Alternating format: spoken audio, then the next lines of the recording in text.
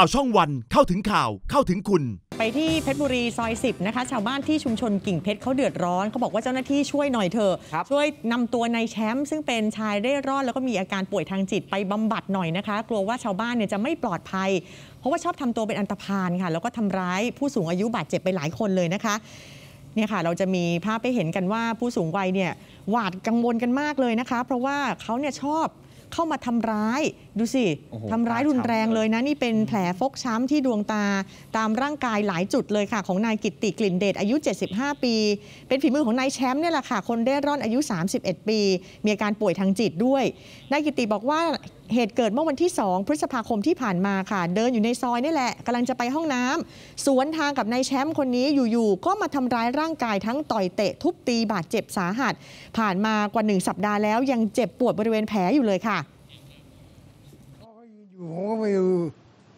แล้วต่างคนต่างเดินไปอะอืม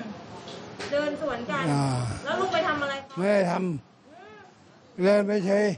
อยู่ๆมาอัดเลยอ่าเขามาทำอะไรลุงบ้างคะโชคอยู่อะชกลุง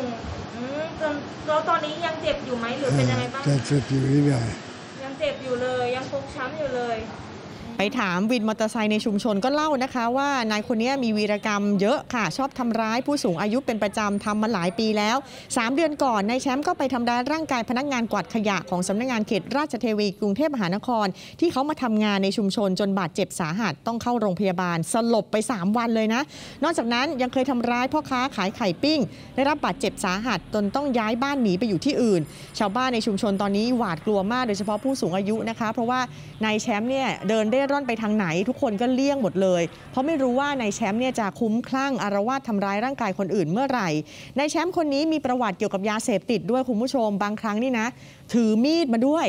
เดินกวัดแกว่งในชุมชนเนี่ยชาวบ้านก็ช่วยกันสอดส่องหาที่ซ่อนมีดของนายแชมป์เพื่อจะเอาไปทิ้ง แต่ก็ไม่มีใครสามารถเอาผิดนายแชมป์ได้เลยจนถึงขณะนี้นะคะ แจ้งความตำรวจ ก็มาจับตัวไปบำบัดแป๊บเดียว แล้วก็ปล่อยออกมาอีกค่ะ ชาวบ้านก็เลยวอนขอนะคะ ว่าให้เจ้าหน้าที่หรือหน่วยงานที่เกี่ยวข้องช่วยพาตัวไปบำบัดจัดการหน่อยค่ะ ครับผมอะฝากด้วยนะฮะ